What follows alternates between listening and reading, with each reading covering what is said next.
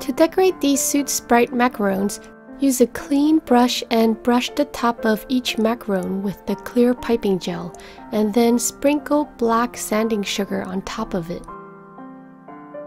Remove the excess sanding sugar and then place them back in the container.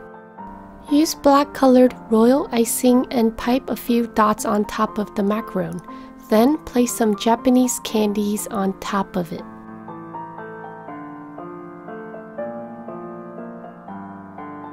For the filling, I used black color buttercream frosting and flavored it with lychee powder.